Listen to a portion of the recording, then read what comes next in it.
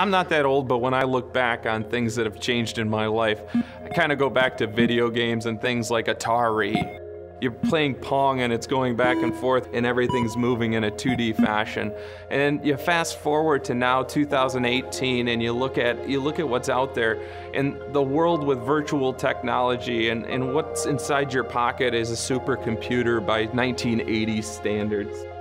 But when we look at prosthetics and we look at the upper limb market especially, why hasn't upper limb technology grown at the same pace as, say, other electronic products? So when we put that in front of the engineering group and we say to them, what would it take to bring this current model up to date? They went to the drawing board and really beat it up hard and, and, and came to the conclusion that we couldn't leave the old elbow as it was. I think this is the largest project in College Park history.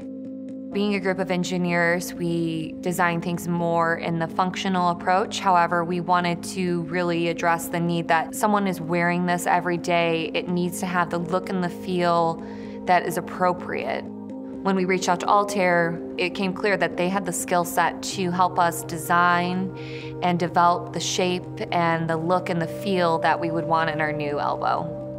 We do everything from toys and commodity products all the way up to aerospace and, and high-end uh, Internet of Things type of stuff. But prosthetics is an area that it's really near and dear to us.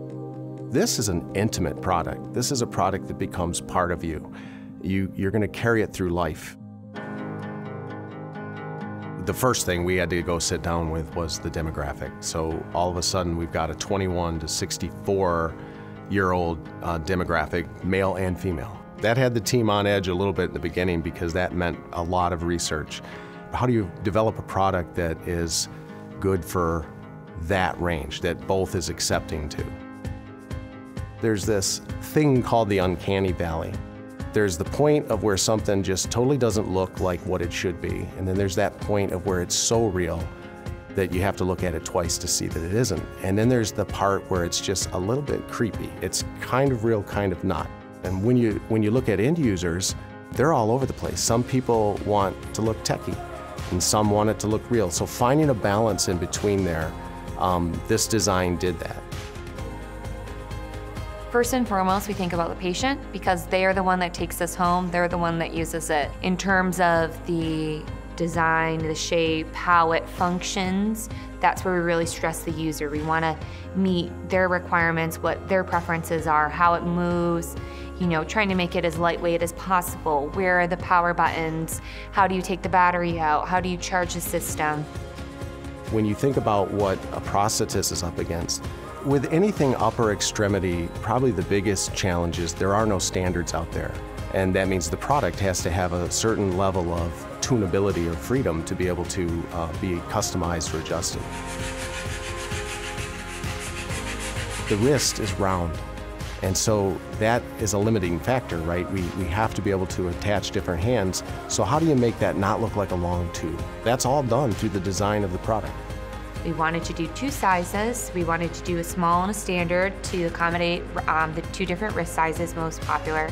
It's a lot more tooling and expense and engineering, but we wanted to have that solution for our users human nature, we want to sit like, we, we don't normally sit like this, but every product we looked at, it was palms up.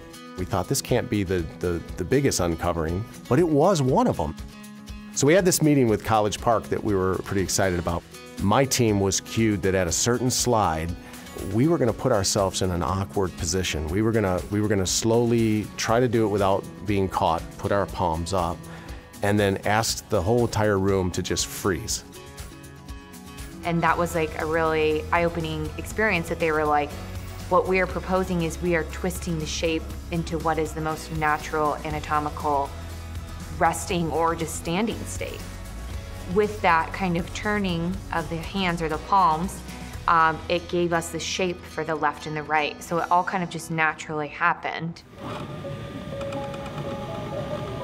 So finally, once we've put together the industrial design, which was the shell and the anatomical look, and the motor and the gearbox, we got the Espire elbow.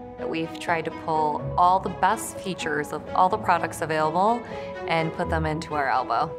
We wanted to make sure that we designed a product that would stand the test of time and be able to keep moving forward just as technology keeps moving forward. Now that Altair has um, presented us this amazing design, the next uh, things are figuring out all the internal components and getting those all to operate appropriately. On paper, everything always looks great, but in real life, it's sometimes a different story. So in the engineering world, we are designing something and we are trying to take all these needs in and we think we found a solution that will be great. However, until we put it all together and make it, we'll have to see what our results are.